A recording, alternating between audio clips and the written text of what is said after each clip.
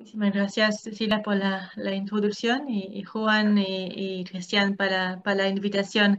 Em, me llamó la intención de, la traducción de, de uh, cuando una palabra como en inglés es sacred script y en francés es laïque, que hay cosas que se, que se, pierden de, sentido, que, eh, pero bueno, Voy a intentar hablar español, aunque he escrito el libro en inglés. Espero que, no, hay, no habrá um, um, malentendimientos o cosas que se, pierden en, el, um, en, la traducción. tengo un, PowerPoint, como lo, en ciencias sociales uh, nosotros usamos los PowerPoints, así que en teología, en filosofía hay menos PowerPoint, pero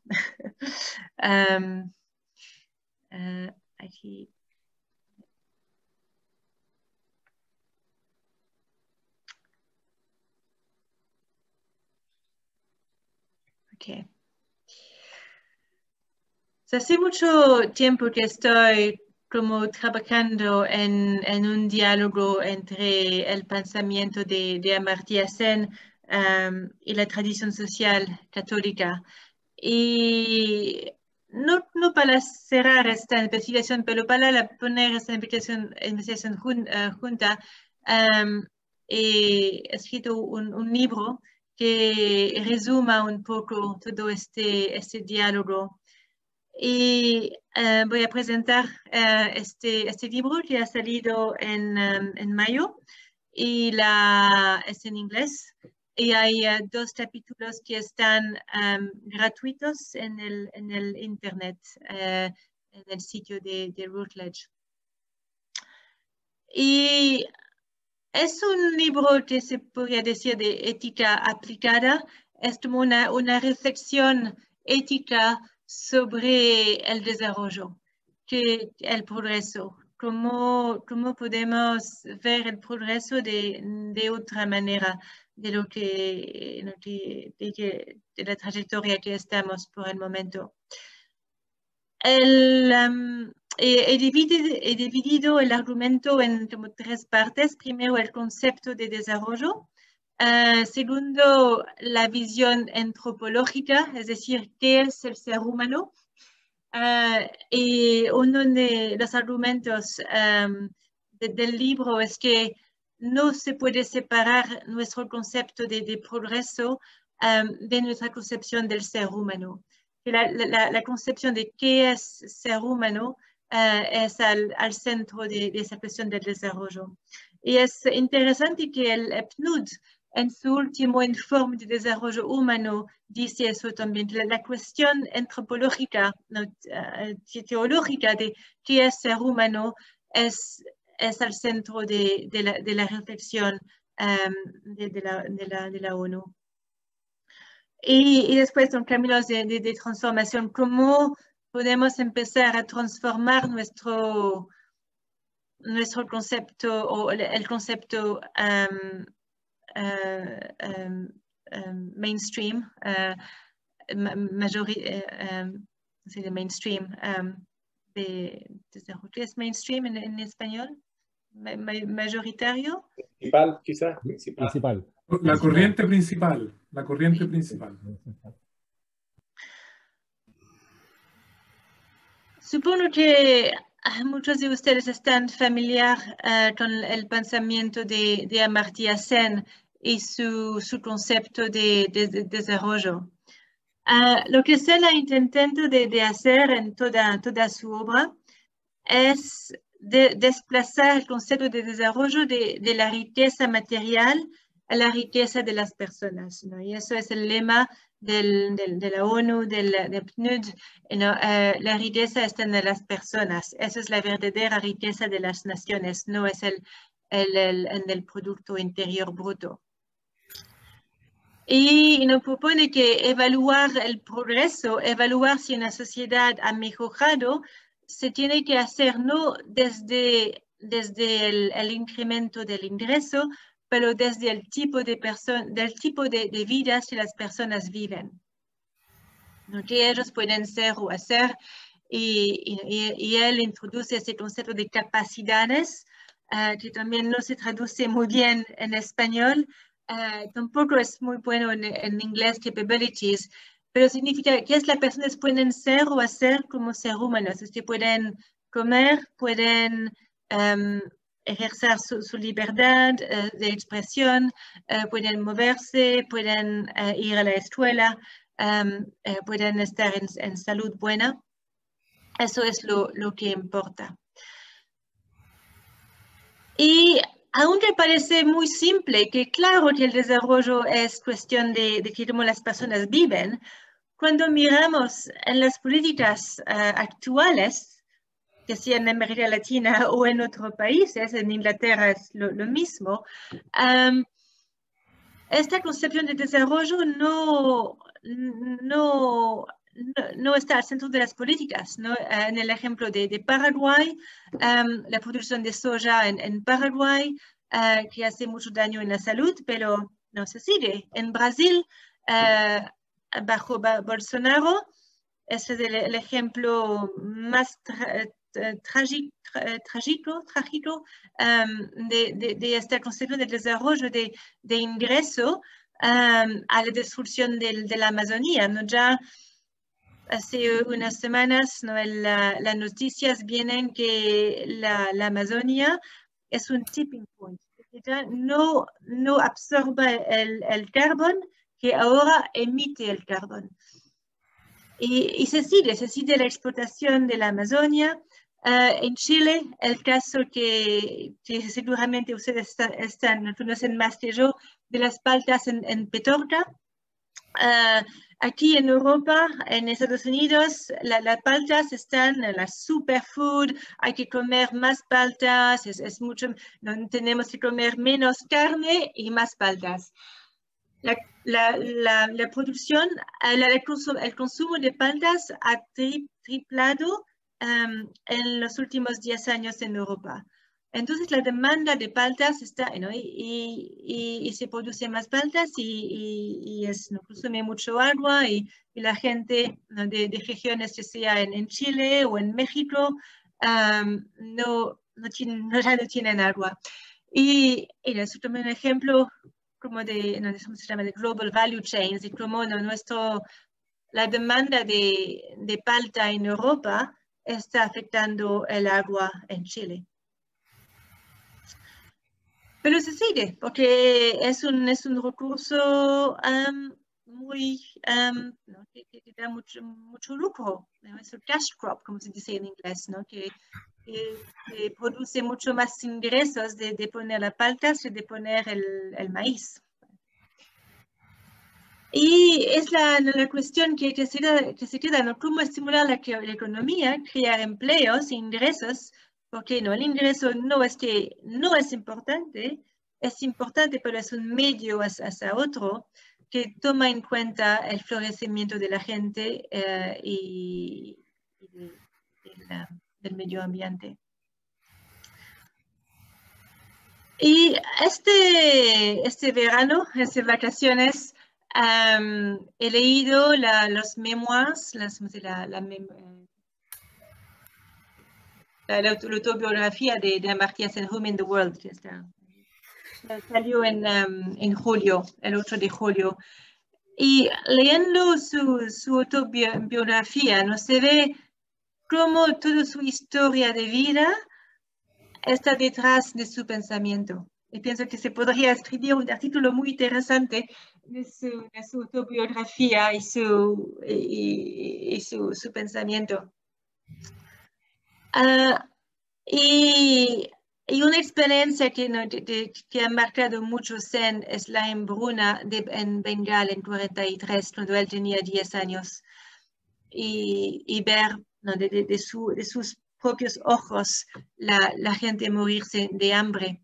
Uh, y eso era, la, la, cosa era una falta de información, que la, la comida se está, lo, los ingleses que en el tiempo estaban en la India, estaban tomando la comida para las Fuerzas Armadas en, la, en las batallas de, um, um, de Asia, de uh, Camboya y, um, y, no había una prensa libre, sino se sabía que que la producción de, de, de, comida se estaba dirigiendo a, a, las Fuerzas Armadas, sino a la, no a la, la población.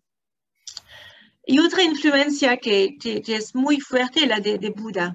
Uh, Uh, y, y, y Zen cuando tenía como 15 años quería ser budista en la, en la escuela de, um, de Tagore en Shakiniketan, pero no se podía, porque no se podía tener una religión uh, precisa.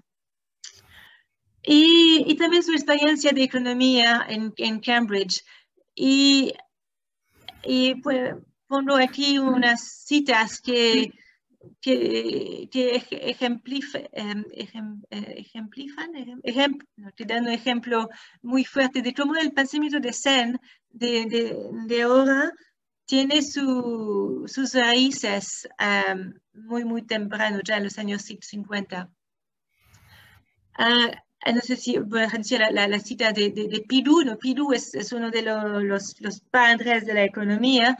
Um, is, it is no, uh, no es la, say wonder, no es la, ah, es wonder en, inglés, en español. Qué maravilla.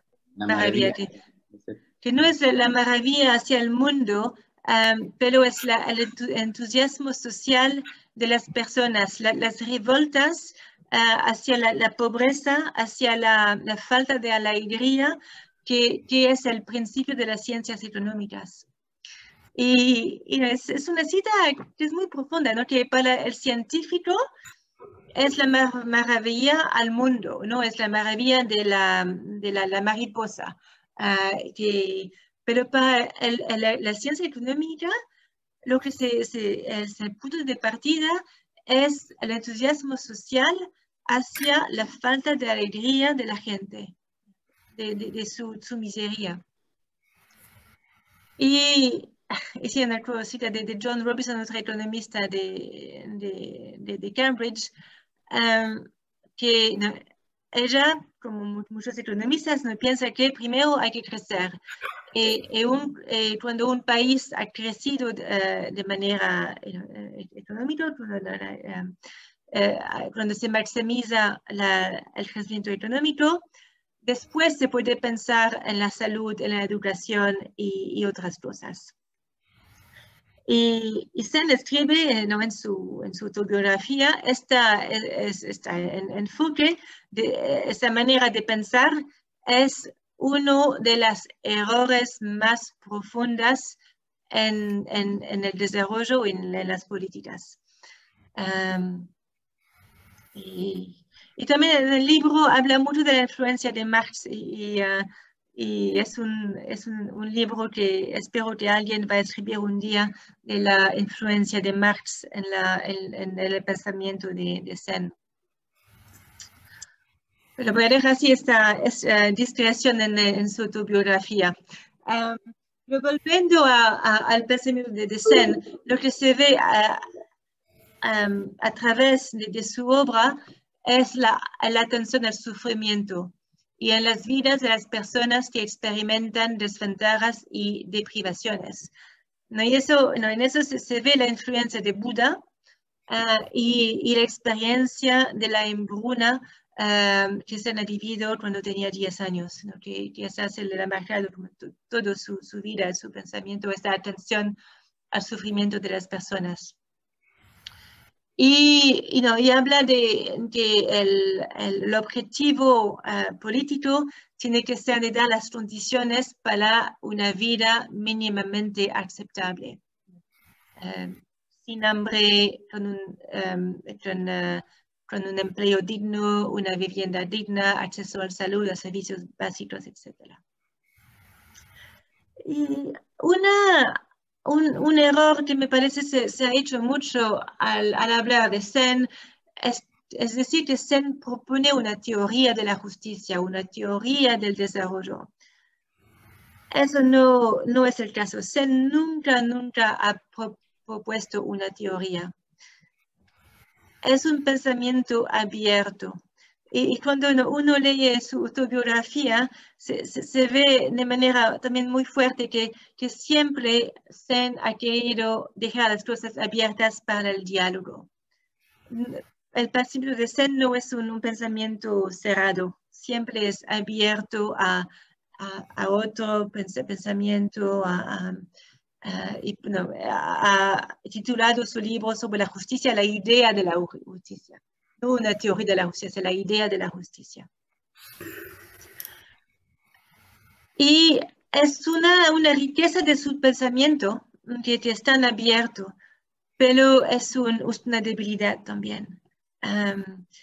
porque primero se, puede interpretarse de, de, muchas maneras, porque su pensamiento es, abierto.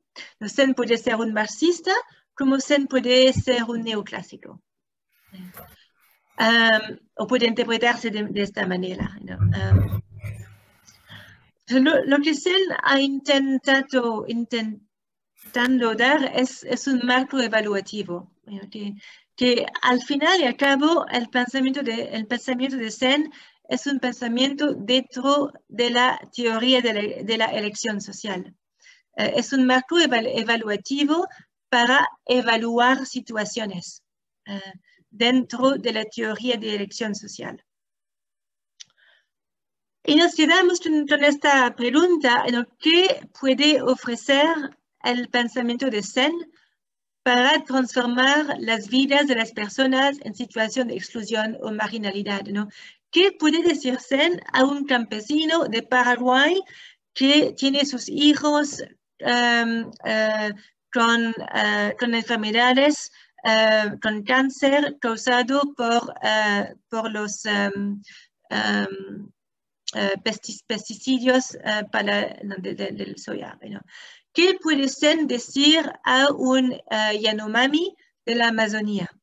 Que ve su territorio destruido por, por la, minería de oro, por las carreteras, por el, proyecto de tren.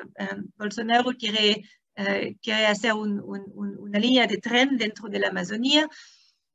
¿Qué puede decirse en estas situaciones? Y pienso que sí, se puede decir cosas, pero es limitado, ah, porque no es un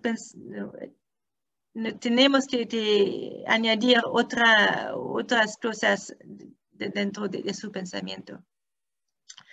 Y la pregunta, como, ah, como trabajo dentro del, del, pensamiento social de la Iglesia, ¿en qué puede la tradición social católica contribuir? Es que puede decir un poco más uh, a, al campesino de, de Paraguay que, que, que, ve, que, ha perdido sus tierras o al, al, al indio Yanomami que está perdiendo sus, sus tierras.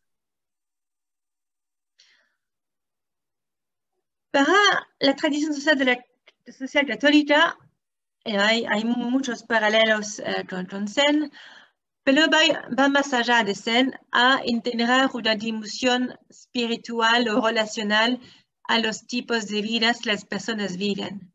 Que para el pensamiento social de la Iglesia, una, una vida una humana plena es una vida que está abierta a, otros. Y, y tomando el, el, tema de, de Populorum por Recio o de Laudato Si, que el amor y la amistad es una expresión del divino.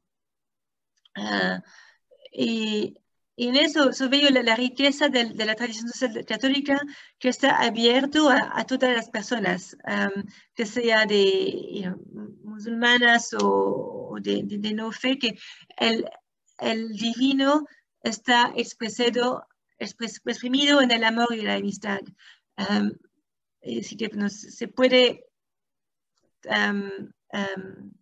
tomar la tradición social católica sin, sin necesariamente tomar el, dogma sobre Dios, sobre la Trinidad y otros.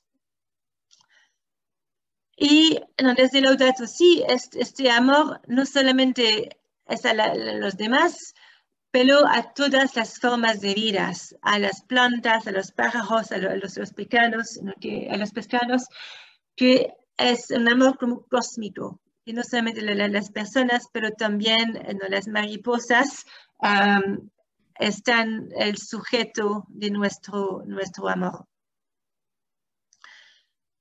Y se ve una evolución del desarrollo humano integral desde el Populorum Progressio hasta la ecología integral de, de Laudato Si, de, que se, se como una extensión del amor a las personas, al amor a las plantas, a los árboles y, y toda la, la, creación.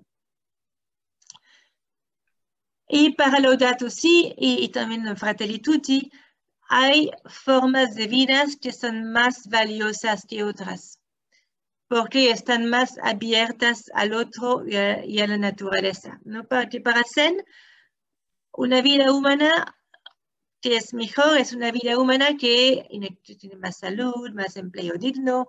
Uh, pero para la, para, para la tradición de la iglesia, una vida humana que es mejor es también una vida que está más abierta al otro, a la naturaleza, que manifiesta este amor uh, de, de, de distintas maneras.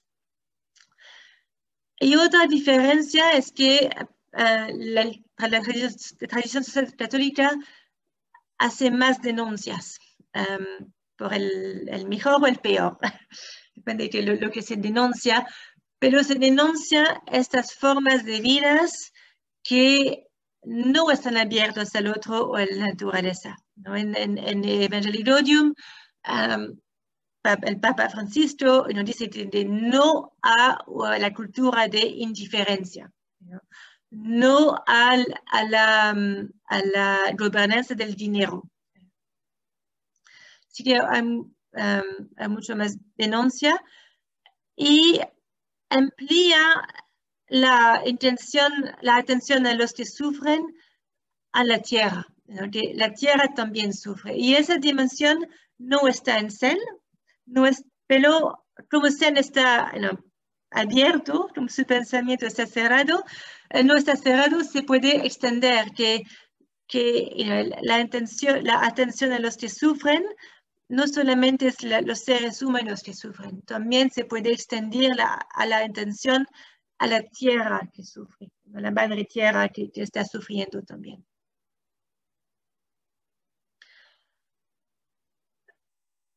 Y en el Laudato Si no, se, se, habla mucho de una, un cambio personal.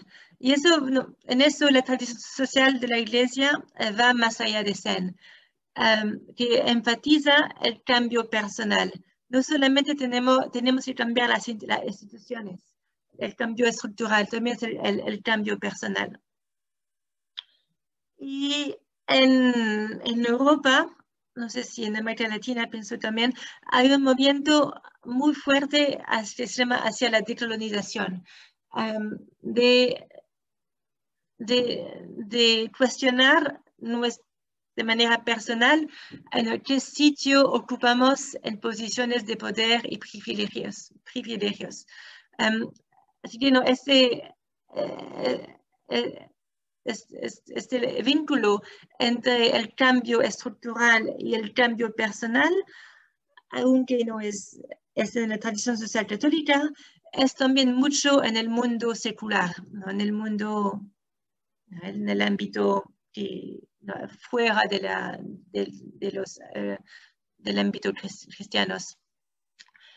Y eh, voy a citar aquí una, una, una persona de la India que estaba dando una, una ponencia en una, en una, conferencia de la, del estudio de, de desarrollo hace, hace, dos años, nos dice que estamos, um, estamos preparados a, a, a, transformar el mundo, pero no a transformar nuestro mismo, pero no cuestionar nuestro, nuestra misma uh, posicionalidad en, es, en, este sistema de poder y privilegios.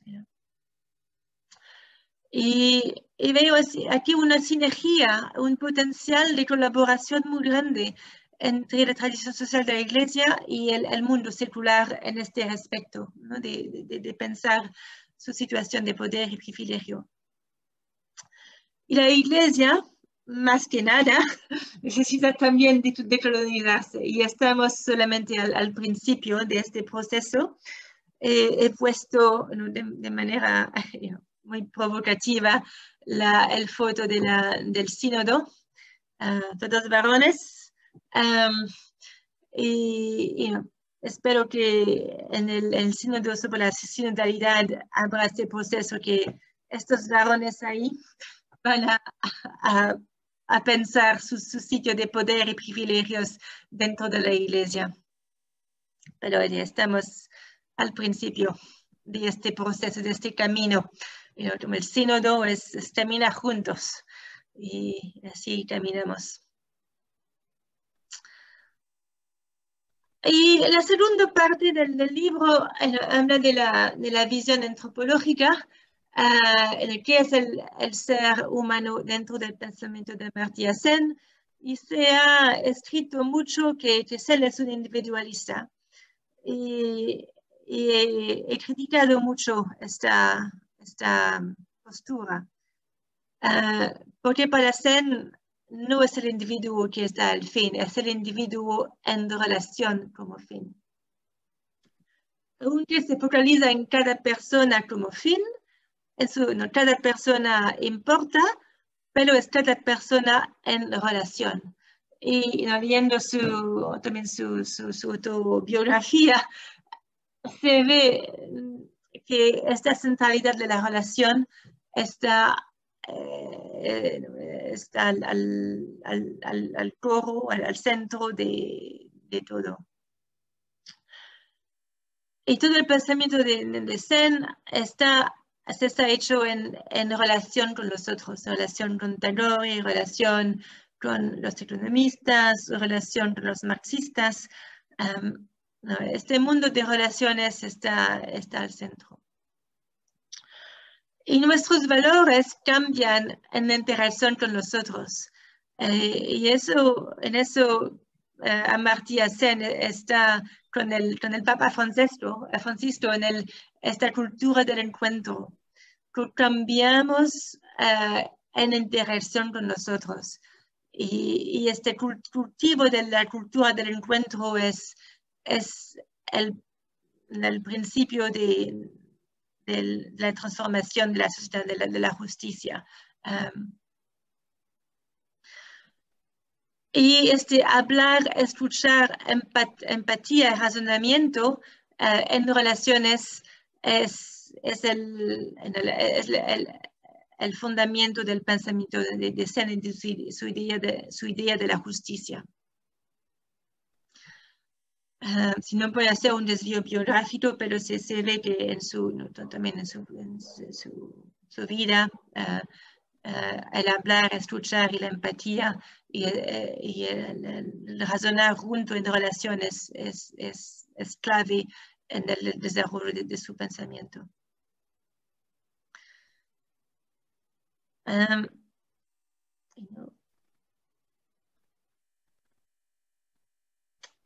Siento, no puedo ver mi, mi propia slides uh, por el, uh, um, pero sí es una visión antropológica abierta um, y, y, puede incluir también la perspectiva indígena. Y en, en, el informe del desarrollo humano del 2020 incluye esta perspectiva indígena en el que en nosotros estamos en la naturaleza, que esta, esta perspectiva que, que el ser humano es parte de, de, de, la tierra, que no estamos en superior a la tierra, que forma parte de, de la tierra. Y la, la, tradición social de la iglesia eh, añade en, en, el pensamiento de Desen esta relación con nosotros, pero en la tierra. Que, añade que, que, que estamos parte de, de, los ecosistemas, que no se puede separar el ser humano de, de, de eso. Y más que Zen, la, la tradición, tradición, social la, de la, Iglesia conecta el ejercicio de la libertad individual y el bien de los otros um, seres humanos y no humanos, ¿no? que es la manera de ejercer nuestra libertad hay maneras de ejercer nuestra libertad que, que son mejores, mejor que otros. Eh, um, y, y en Fratelli Tutti y nos habla de esta cultura del desecho, cultura del desecho ¿no? que ejercer nuestra libertad para destatar a los otros, no es un ejercicio de, ejercicio de libertad que, es bueno. Así que ahí volvemos a la denuncia, que, hay una, una, denunciación más fuerte que, que en Sen de, de, formas de libertades que, que perjudican a los otros y, y a la tierra. Y, y, vemos paralelos entonces, de la escucha, de la empatía, del razonamiento, pero con la énfasis en la, tierra y también el don, la, la, la, gratuidad. Uh, y, y la, la, la, atención, la cultura del silencio, del, del, del sábado, uh, del, del, sabático, uh, de hacer silencio, de pararse para escuchar. en escena hay la escucha también, pero en la, la, la, tradición social católica enfatiza eso mucho mejor, mucho más, la, la atención, el silencio. Tenemos que hacer silencio para escuchar los silenciados, ¿no? escuchar eh, las especies que des desaparecen, ¿no? los, miles y miles de, especies de animales que, se van en silencio, um, cómo escuchar a, en silencio a est estos, uh, a, a estas especies que se van. Y, y uno lo uh, se, uh, atende, no sé, one expects, um, la, hay una visión antropológica, no teológica, con un fin. El fin del ser humano es el amor dado y recibido de manera gratuita. ¿no? Mientras se parecen, el fin del ser humano es el resultado de su razonamiento. Pero para el pensamiento social católico, el fin no es el, el razonamiento, es el razonamiento que está con esta finalidad al amor dado y recibido de manera gratuita. Y pienso que se puede tomar, hacer un diálogo uh, muy enriquecedor entre nuestro razonamiento de, una, de, un lado y de esta es, la apertura, de esta visión uh, teológica de otra, del otro lado. Y pienso que en este, eh, este asunto Sen puede contribuir mucho a la, a la tradición social católica, que es dinámica, no es, total, es, en evolución constante. Por eso yo prefiero no hablar de doctrina social, pero de tradición social. No es una doctrina, es algo siempre en movimiento.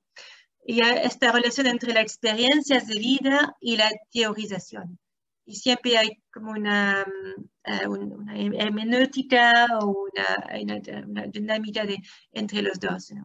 Por ejemplo, la Tierra es, es, es, es de manera, no sé, como hace 10 años que la Tierra se está incorporando en la tradición social, no estaba antes. Y espero que un día uh, Uh, no en el futuro lejano, pero que se puede también poner la experiencia de las mujeres de manera mucho más fuerte en, en, en, en el, el, pensamiento de, de la Iglesia. Um, así que en este razonamiento uh, pienso que puede contribuir mucho a la tradición y, y tiene esta, esta parte de este razonamiento. ¿no? Y se ve ahora una inclusión de, la, de los indígenas, ¿no? que hace 20 años no se había pensado que, los indígenas podían ser parte de, de, la tradición social católica, ¿no? que podían ser parte de, de esta evolución de, de, la teología.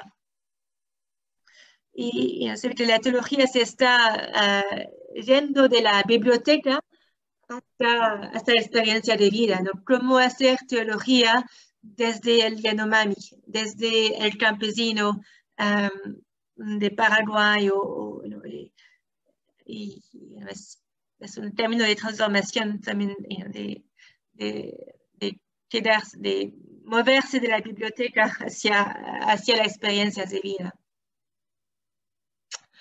Y para concluir, caminos de transformación,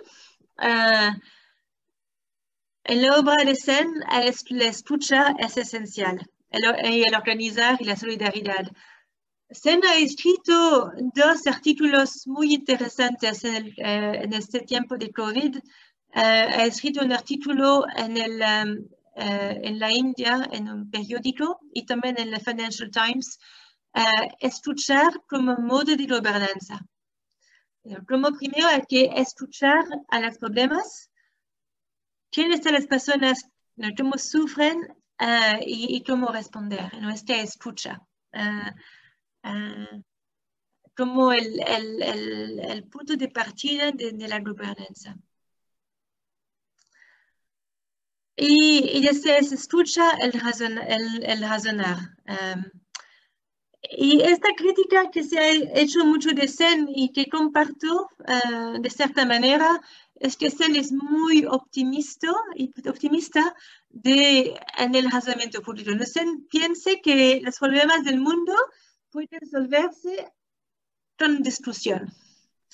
Uh, y es muy optimista en este lado. Uh, y quizás con el COP26 en Glasgow, quizás podemos cambiar Bolsonaro con la discusión, quizás podemos cambiar el gobierno de, no, de, China, de China con la discusión. Y no, el Papa Francisco va a, va a, estar en Glasgow, en Escocia, para el COP26, para no, que la, discusión se sea abierta al grito de la tierra. Y, no, uh, como lo, no, uh, lo decía Cristian antes en nuestra charla en, el proyecto de los haitianos, para la, tradición social católica hay la, transformación escultural siempre está vinculado al, a la transformación de, de al, al, a, la, a, la, a, la, escala de, desde abajo, ¿no? desde abajo y desde, desde arriba. ¿no? El, el, el, amor no es amor al próximo que tiene rostro, de la caridad, y el amor al próximo que no tiene rostro. Y esta dialéctica entre caridad y justicia um, está al centro de, de la tradición. Y, y está al centro del, del sino de, de, la Amazonía, de querida Amazonia, que el amor está, el, el, motor de la acción pública. Como lo dice eh, eh, Papa Francesco en, en Fratelli Tutti, servimos a personas, no ideas. Siempre tenemos el rostro de las personas, nos sirvemos al, a personas concretas y nos servemos a ideología. Y, si el, y, en ese CEN puede ayud, ayudar en esta organización de los movimientos sociales, cómo cambiar la sociedad a partir de las organizaciones sociales, los movimientos sociales y el encuentro. Este culti cultivar una cultura del encuentro y, y, perder tiempo con los otros. Y, y este perder tiempo es, es, um, es, algo que estamos discutiendo mucho en, uh, en, el mundo académico, en nuestra investigación, porque tenemos que colectar datos y, y producir, producir artículos. Um, pero perder tiempo es algo esencial. No, no, no se puede uh, entender la vida de las personas que sufren sin perder tiempo con ellas. Y necesitamos también repensar nuestro, nuestras pedagogías, nuestra investigación para perder tiempo con, con nosotros. Bueno, para concluir, um, como ya lo, lo, he dicho, como lo, lo dice el informe del, del, PNUD, no hay futuro para la humanidad sin un replanteamiento antropológico radical. ¿okay? Formamos parte del tejido de vida de la planeta. Uh, y cómo vivir en comunión con este tejido. empezar con su mismo, su familia, su la universidad, comunidad eclesial, no todos tenemos que cambiar de manera radical. Y eso es el mensaje que viene hace dos semanas el um, IPCC, el, el um, the, Panel on, Climate Change, en su, en su informe dice eh, ese va de, de, nuestra sobrevivencia en el planeta. Bueno, sin, sin este cambio radical, no, no hay vida humana posible. Y, y, cómo hacer ese cambio, este cambio radical antropológico, es, es nuestro desafío a todos como académicos, uh, es nuestro desafío en, en Oxford. Uh, el Laudato Si Research Institute um, fue fundado por, por esta misión de transformar la academia para que este replanteamiento antropológico radical se pueda hacer. Y lo dejo ahí. Muchas gracias. Eh, ha sido una tremenda exposición. Eh, y antes de pasar, de pasar para presentar a la persona que les va a comentar, me gustaría señalar lo último que señalabas tú, el amor como centro de la acción pública para todos los seres vivientes de nuestro planeta. Creo que fue muy, muy importante, sobre todo para nosotros, los trabajadores sociales. Quiero presentarles al comentarista, un gran amigo, Cristian Jorge, em, doctor, eh, actualmente trabaja en el Instituto de Filosofía de la Universidad de San Sebastián, tiene una serie de publicaciones, entre ellas el sentido de la actividad empresarial, la macroeconomía, la teología del cuerpo místico, antropología y moral social. Eh, estimado Cristian, eh, puedes pasar ya a los comentarios de nuestra expositores. Muchas gracias, Cecilia. Y, y, en primer lugar, ¿no es cierto?, el primer comentario que tengo es agradecer y valorar mucho la, la exposición de, de, la doctora de Neulán, de la profesora Severín, eh, sus investigaciones, sus publicaciones, como ya lo decía la profesora Cecilia, son muy abundantes en este tema y, ella lleva años, me consta, por haber leído algunas de sus publicaciones, eh, vinculando este pensamiento de Amartya Sen con lo que ella llama la tradición social católica. Eh, un primer comentario, ¿no es cierto?, qué que, interesante esta, esta denominación tradición. Me recuerdo a el filósofo escocés Alastair McIntyre, que usa mucho el concepto de tradiciones de pensamiento, tradiciones de investigación, lo, lo, aplica a las discusiones respecto a las teorías de la justicia, y, aquí también como tradición ética, tanto la tradición ética de la cual representa Amartya Sen una senda, y esta otra tradición eh, ética social que representa el magisterio social de la iglesia. Nosotros solemos usar todavía en Chile mucho el término doctrina social de la iglesia.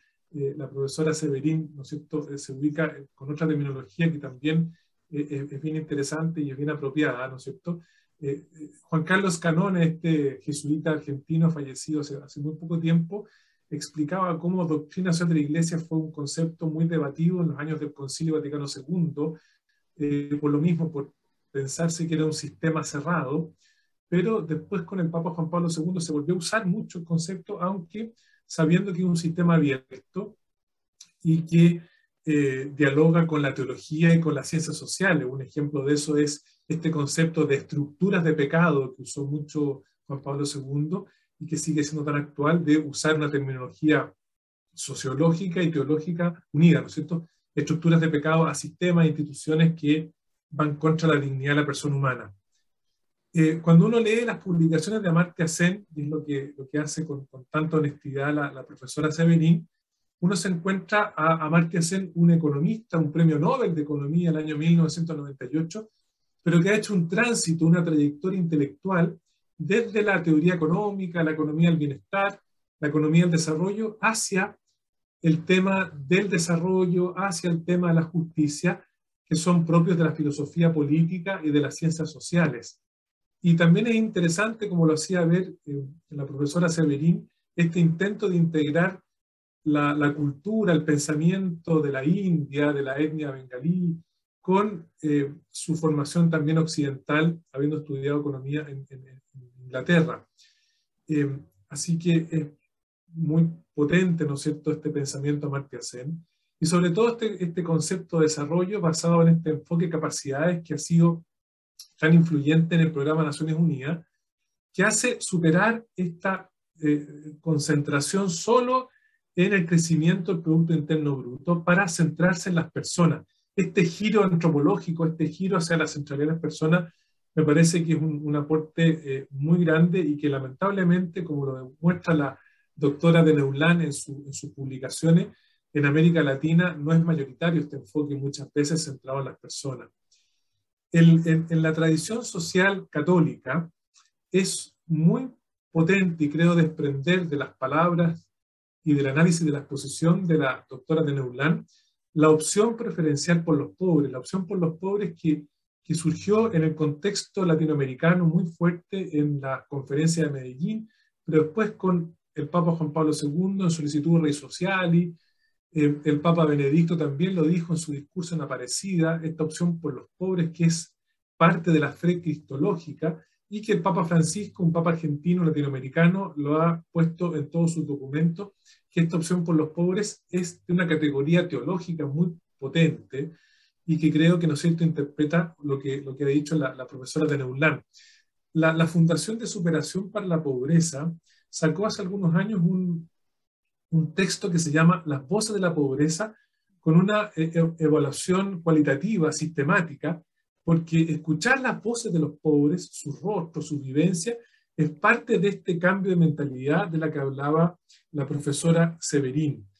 Eh, también lo que ella propone de, crecer en equidad de género en tantas instituciones, también incluía las iglesias, la iglesia católica, creo que es un desafío y ahí me parece que, que, lo que está diciendo ella tiene mucho, mucho eco y, un, gran desafío la, palabra decolonización que, que, usa en su análisis es provocativa y también, podríamos decir, debatida. Nosotros en Chile, eh, profesora Severín, estamos en un proceso constituyente no exento de polémica, entonces la palabra decolonización tiene una carga, eh, ¿no cierto?, de, tensión, de polémica que, que ciertamente eh, lo que ha pasado en Afganistán nos lleva a ver, ¿no es cierto?, no todas las culturas son válidas, ¿no es cierto?, los derechos humanos universales son un filtro para, para juzgar, ¿no cierto?, la, las distintas culturas. Eh, respecto a la, antropología, ciertamente es lo que está en el centro y, claramente eh, la profesora Severina hace una distinción eh, sutil, pero, pero mostrando cómo el pensamiento Amartya Sen incluye la relacionalidad, aunque ha, sido catalogado por muchos críticos como muy individualista, pero, pero la relacionalidad está presente en la antropología que usa Amartya Sen en su enfoque de las capacidades y el desarrollo, pero la tradición social católica incluye esta dimensión al medio ambiente, al planeta, a la tierra, a la casa común en el lenguaje de Laudato Si, así que también eh, lo considero una cosa eh, para, destacar. Respecto al razonamiento público, de este escuchar como modo de gobernanza, me parece eh, muy elocuente y, creo que, que hay que mejorar mucho en las políticas públicas de saber escuchar y dialogar en tiempos de crisis de las democracias y de las democracias complejas, como dicen varios, varios autores.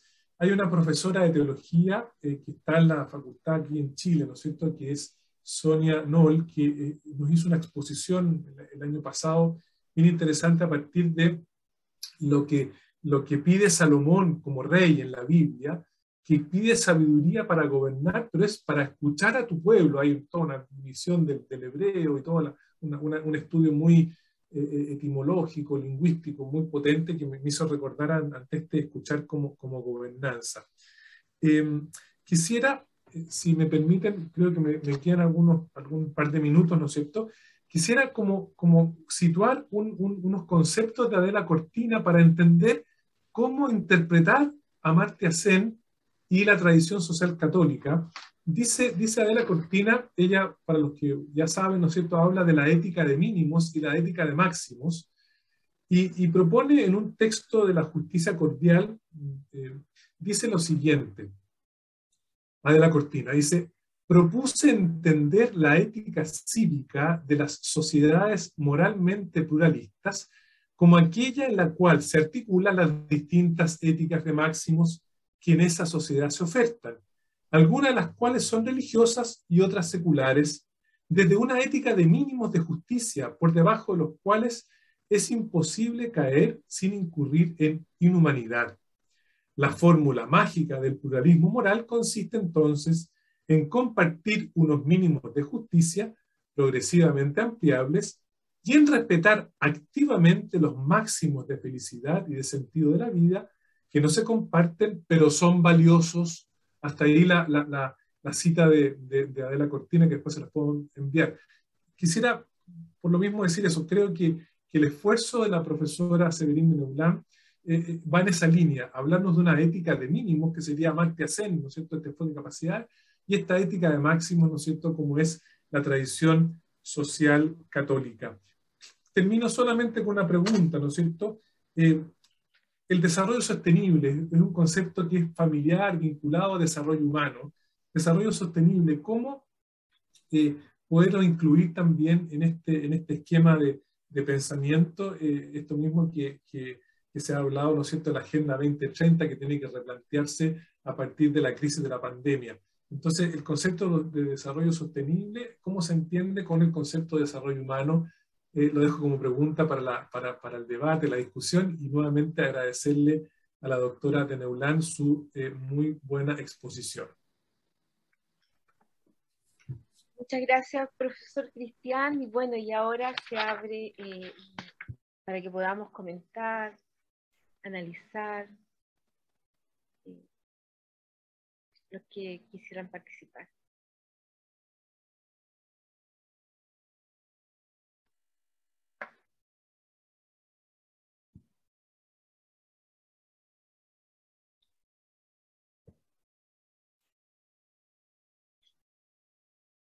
Juan. Perdón, perdón. Eh, Parto yo mientras el, resto se entusiasma y para darles un tiempecito. Eh, parto por agradecer, Severín, eh, Cristian, la presentación. No voy a decir el apellido de Severín para no arruinar después de la fantástica francés de Cecilia, así que eh, voy a dejarlo en Severín y yo creo que me lo van a agradecer. No, muy interesante. La verdad que Severín me quedó resonando mucho algo que dijiste al final, que es algo quizás bien simple lo quiero te quiero plantear el desafío de, cómo se manejan los tiempos que estamos viviendo en que pareciera, no, lo voy a decir con un cierto grado de ironía, que vamos a pisar la trampa de que lo virtual podría resolver nuestros problemas. Aquí estamos reunidos en virtual y la verdad que es una maravilla, pero ¿qué pasa con la cultura del encuentro y qué pasa con perder el tiempo en lo virtual? Cuando dijiste lo de perder el tiempo, que me pareció muy interesante, lo uní con un comentario que hemos hecho con los colegas ahora que estamos volviendo. ¿Qué, cuál es la diferencia entre estar en la casa y encontrarnos aquí? Y nosotros en Chile lo llamamos el pasillo. El pasillo significa encontrarse. Eh, y que probablemente tiene algo de perder el tiempo. ¿ah? Eh, comillas, entre comillas. ¿Qué, cómo, ¿Qué puedes comentar de la cultura del encuentro, el perder el tiempo en el contexto virtual? Quizás entonces y, yo estaría muy de acuerdo, eh, ¿eso no se puede hacer virtualmente o, también podríamos perder el tiempo y encontrarnos adecuadamente en el mundo virtual? Eso, muchas gracias.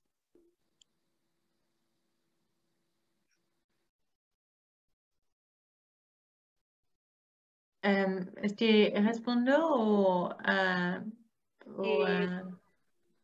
profesora, ¿qué, ¿qué, prefiere usted? Eh, que haya un grupo de consultas o prefiere ir respondiendo en la medida que se van haciendo los comentarios? Es un grupo, podemos tomar tres y hacemos un debate general, algo así. Me parece. Entonces les voy a dar la palabra a la señora Marina, a la profesora Marina, y posteriormente a la profesora Marisol, y ahí usted retoma y volvemos a hacer comentarios, análisis y preguntas. Sí. Profesora Marina. Sí, yo no sé si me veo mucho, pero bueno. Sí, se ve. Eh, ok. Em, la verdad es que, bueno, antes que nada agradecer por todo y a todos. La verdad que es muy interesante y yo solo quiero hacer relaciones desde mi, desde mi expertizaje, que es la agronomía, entonces como la doctora Severín eh, tocó el tema agrícola, principalmente refería a la palta, eh, que es un tema muy eh, sensible, pues, sobre todo por, el uso del agua, el uso de, la, mm, de los suelos, la, la, degradación de los suelos que esto implica. El problema que me, me toca eh, particularmente porque nosotros como, como agrónomos y productores de alimentos estamos siempre depredando el ambiente. Eh, no, o sea, eh, justamente Severini dijo algo así que me, me, llamó un poco la atención, dijo como en vez de poner paltos poner maíz, pero el maíz también es muy, es muy terriblemente degradante. Entonces, mi pregunta es, hay, un momento, una, ¿cómo vamos a realmente resolver el, problema de la agronomía? Si, obviamente los esfuerzos van hacia un camino más sustentable, pero nunca son del todo sustentables. Em, evidentemente hay cosas que son más evidentes, como, como, el, como, el, como el palto en, cuencas y en, y en, en uso indiscriminado de los recursos eh, tanto hídricos como de suelo. Pero eh, nosotros no podemos alimentar la población mundial si no es interviniendo el ambiente, aunque hagamos un esfuerzo sobrehumano para efectivamente hacer una, una, una cosa menos agresiva con el medio ambiente. Eh, entonces, ¿cómo resolverlo desde el punto de vista ético? Y ahora le pasamos la palabra a la profesora Marisol Muchas gracias, profesora Cecilia. ¿Se escucha bien? Totalmente, muy bien. Bueno, primero sumarme a los agradecimientos y a las felicitaciones a la profesora Severín. Realmente en lo personal he aprendido muchísimo, no solo sobre el pensamiento de Amartya Sen, sino que además eh, en esta vinculación con la tradición eh, eh, del pensamiento de nuestra Iglesia Católica era una relación en la que no había pensado, así que quiero agradecer muy particularmente la oportunidad.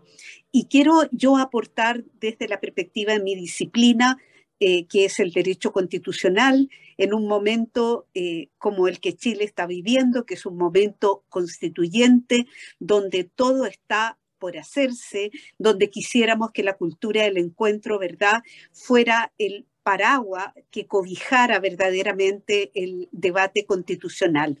Y, en ese sentido, comentar que mucho temo, mucho temo que los avances que ha tenido la jurisprudencia de las Cortes Constitucionales de América Latina, y estoy pensando particularmente en la Corte Constitucional de Colombia, en el sentido de eh, introducir un nuevo derecho que es el, el derecho a un mínimo vital, a un mínimo vital, al cual le encuentro absoluto, eh, absoluta vinculación con este concepto que la profesora Severín nos planteaba de una vida mínimamente aceptable. Eh, si bien podría parecer un avance en orden a una concepción de desarrollo humano en la perspectiva que hemos estado conversando, temo que eh, los avances jurisprudenciales del derecho a un mínimo vital, al menos en Colombia, particularmente respecto de las poblaciones desplazadas, han mirado fundamentalmente las carencias materiales. Es decir, ha estado ausente este enfoque de solidaridad, de ponerse en un lugar del otro. Y a lo más llegamos a un punto en el cual esas carencias eh, se las exigimos al Estado eh, imputándole ser el gran responsable de su existencia. Eh, luego, me parece que este pensamiento debiera iluminar el pensamiento de ecología integral que hoy día hemos escuchado debiera iluminar el debate constitucional de nuestro país para que simplemente no adoptáramos como modelo trasplantable al caso chileno estos avances, eh, sobre todo en materia de derechos sociales, de representar derechos a un mínimo vital solo en un sentido material, si ello no supone ponerse en el lugar del otro, en la contingencia del otro, en la situación que está viviendo el otro, como nos propone Amartya Sen. Eh, yo quería dejar instalada esta, esta conclusión, si ustedes quieren, eh, hacia el debate constituyente que a mí me ha iluminado eh, eh, en el discurso, la exposición de la profesora Severín. Ojalá todos desde nuestras propias disciplinas pudiéramos contribuir, ¿verdad?, a hacer de esto una realidad y evitar una dimensión exclusivamente material del desarrollo humano que le podría hacer grave daño a nuestra institucionalidad y a nuestro progreso futuro. Muchas gracias.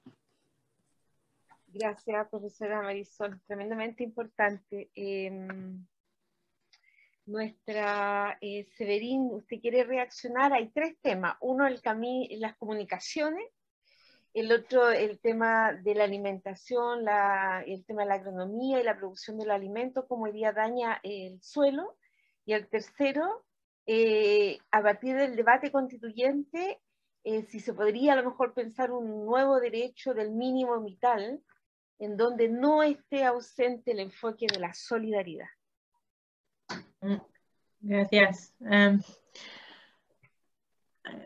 respecto a la primera pregunta y, la segunda también, uh, me parece que, no hay, no se habla mucho todavía, que sea en Zen o que sea en la tradición social de la iglesia, esa cuestión de que se trade-offs, bueno, que siempre se supone que las cosas van, van, van bien juntos, ¿no? Em, y, con la tecnología, la tecnología no es carbon neutral, que hay estudios que dicen que, que hacer esta reunión uh, con, en, en, em, en, Zoom consume, uh, emite carbono, carbono y, y, sí, es, sí es un, un trade-off en español. Uh,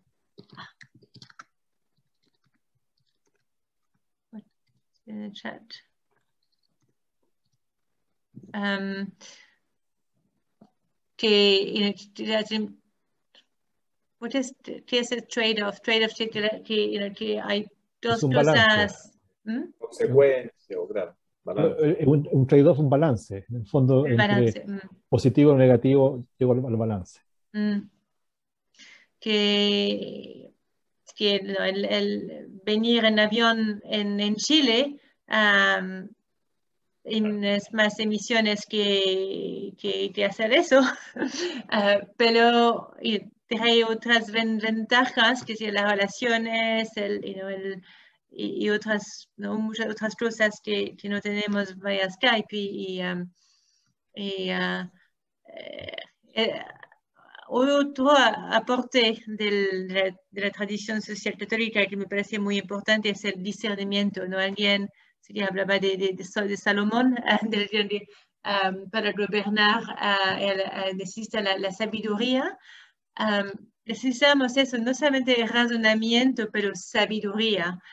cuando decidimos tomar el avión y emitir, no sé, cuatro toneladas de, de carbón, y, cuando nos quedamos en casa y hacemos un Zoom, eh, es, eh, se necesita así discernimiento y sabiduría y, ah, ah, no voy a citar de nuevo uh, Fratelli Tutti, pero hace, dice mucho sobre las relaciones um, uh, tecnológicas, que nunca reemplaza el cuerpo. Bueno, es, al final, la, tradición cristiana es de la encarnación, y la encarnación es en el cuerpo. Si no hay cuerpo, um, y, um, estamos al principio de, pensar de otra manera, la iglesia también, los sacramentos, eh, la Eucaristía con Zoom. Y, um, uh, pero sí, la, expresión de, de, balance y de, discernir uh, los gastos y, es la pregunta donde el tema en ¿no? ¿Cómo, cómo tener una cultura más sostenible, cada cultivo puede hacer daño al medio ambiente la, la agroecología no es la solución tampoco, no es, es mejor que la agroindustria, pero la hidroecología tiene sus problemas también. y, es como discernir los, los, costos y, los beneficios y, cómo hacer esta, estas decisiones. Vivimos en un mundo imperfecto. La, eh, la, idea de la justicia de Desen, ese, tema, ese, tema a veces dice que es pensar la justicia en un mundo imperfecto, en un mundo perfecto. Y, um, uh, y la, tercera pregunta sobre el derecho a un mínimo vital y, y, la solidaridad. En la, en, uh, en el, la filosofía política y hay más y más trabajo en el, um, uh, sobre la riqueza, que, que, no es solamente pensar qué es el mínimo vital a lo que tenemos derecho, pero qué es el máximo que uno puede tener. Es que no hay un máximo uh, más arriba del cual nuestra vida es, eh, no se puede justificar. De la declaración de qué nivel de riqueza podemos justificar. Es que podemos justificar que Carlos Sim, el, hombre más rico de México, tiene un, 400 esculturas. Um, uh, que, su, ingreso es, no sé, no me acuerdo de la, comparación, pero uh, como eso es, es políticamente uh, justifiable ¿no? en el derecho constitucional, ¿Cómo podemos eh, debatir eso también, ¿no? el nivel de riqueza máximo que podemos tolerar como sociedad? Uh, y que, pienso que, porque antes había más, en los años 60, 70 se hablaba más de que es el, máximo legítimo. Y, y, para pensar la solidaridad, tenemos que, ver estos dos extremos. Um, y no hay mucho trabajo ahora en la desigualdad, en el trabajo de, um, Thomas Piketty, uh, en la capital y desigualdad, um, y, otros, no, muchos otros trabajos. Tenemos los datos que la desigualdad ha aumentado de manera muy fuerte en los últimos 20 años y, cómo tener este debate público sobre la, el, el, mínimo, pero también el máximo. Y ese es, otro nombre para la, ética eh, del mínimo, ética del máximo uh, de, de, de, la cortina.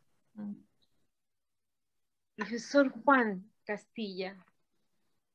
Hola, eh, buenas tardes. Agradezco la, la presentación, súper interesante. Eh, los problemas son muy variados y yo me voy a referir básicamente a uno que, que, que, se trató recientemente. Eh, la profesora Severín eh, termina un poco su, su presentación indicando casi textual que se necesitan cambios antropológicos radicales. Esa es una frase. Eh, realizar cambios antropológicos radicales, como culturales o éticos, toma una enormidad de tiempo. Tenemos que enfrentar e-, esa situación. ¿No es cierto? Todos deseamos eso, pero, pero, y muchos de nosotros estamos en eso, pero no podemos pensar que algunos de los problemas tan globales está enfrentando la humanidad en este minuto, y me voy a referir solo a dos, ¿no es cierto? Que se tocaron aquí, uno que es el cambio, global, el cambio climático global, en el cual yo trabajo, el IPCC, y el segundo el de la sostenibilidad. En ambos necesitamos cambios antropológicos radicales, pero nos va a tomar generaciones. Quiero poner eso en la discusión. Entonces, quiero creo que frente a estos dos problemas, al menos, no otros, pero al menos estos dos, tenemos que mirar la situación de forma policéntrica, como lo decía Ostrom. O sea, hay, hay varios, varios enfoques, no, no es uno solo en el centro. Son los cambios antropológicos radicales, sin duda, pero también son las políticas públicas. Entonces, ahí me, salté, digamos, y, las políticas públicas, diría yo, nacionales y las políticas internacionales, globales. Es, eso es el policentrismo.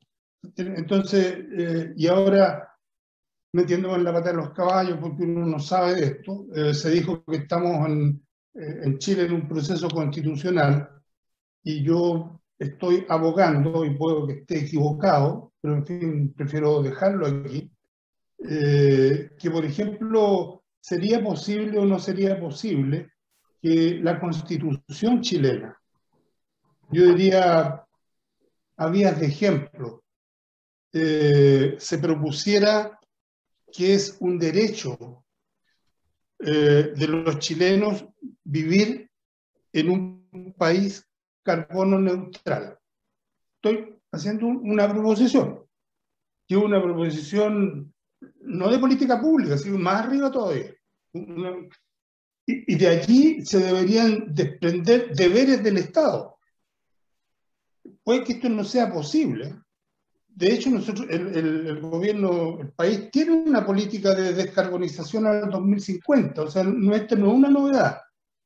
Pero yo diría, alcanzar eso y mantener eso va mucho más allá, ¿no es cierto?, eh, de lo que son los gobiernos. Va a nivel de, constituciones, decenas de años.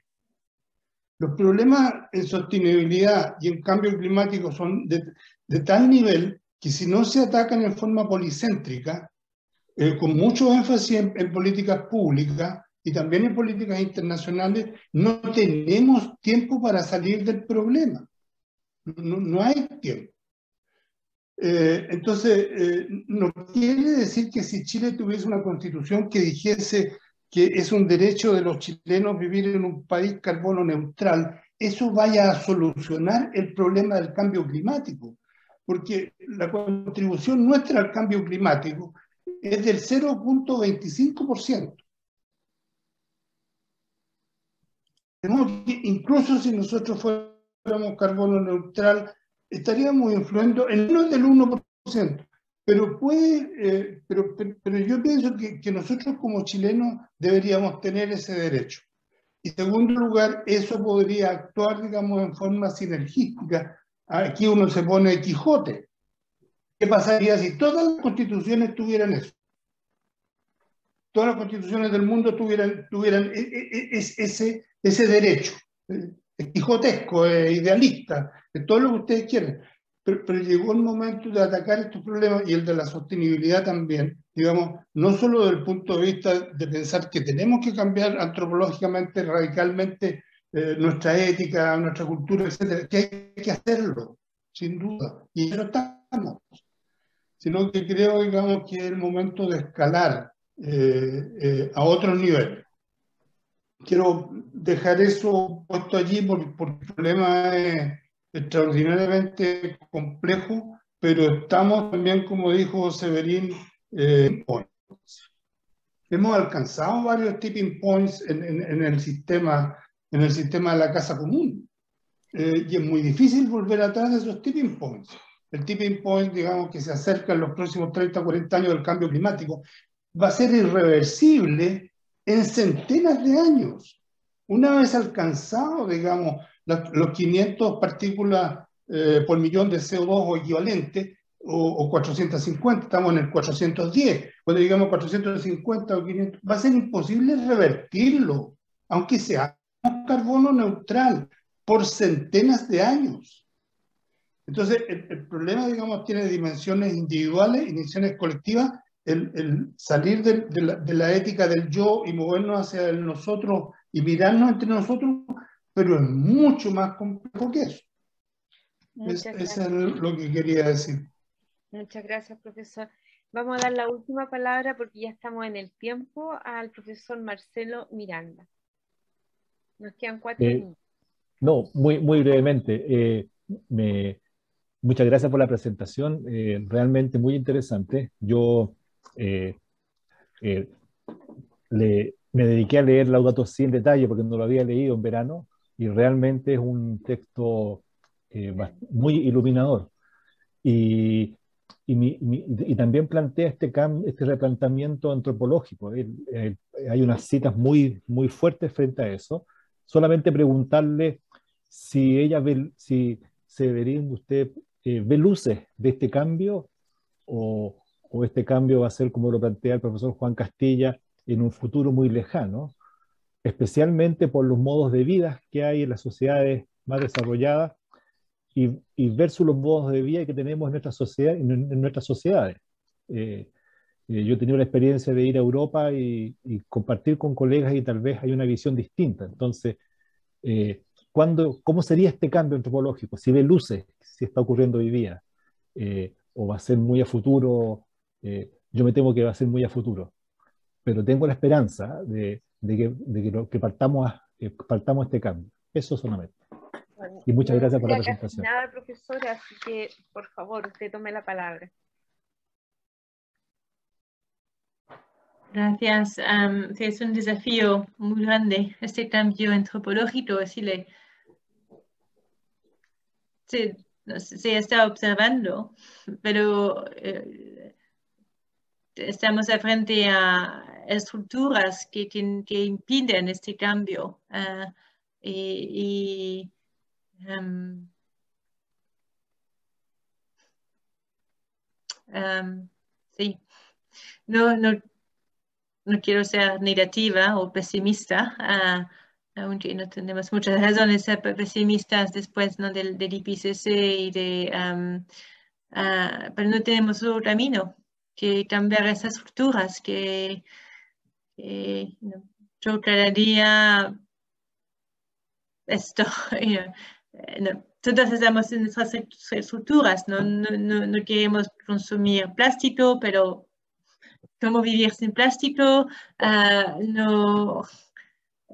no, no, queremos consumir comida que dañe el ambiente, pero ¿cómo hacerlo? ¿no? Si, si, si um, uh, sí, pero cuando uno ve la esperanza de una persona como Greta Thunberg o los jóvenes y, ah, sin, sin, esperanza, y, eso puede ser el camino de la iglesia, que, que, también está en camino de dar esa esperanza que, que, todavía podemos cambiar, que no es demasiado tarde. Ah. Muchas gracias.